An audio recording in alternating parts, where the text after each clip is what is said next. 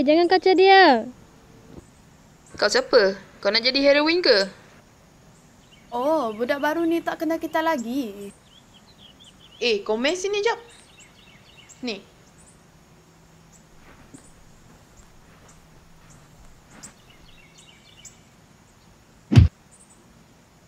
Kau bernasib baik, Adil. Ada orang dah nak gantikan tempat kau.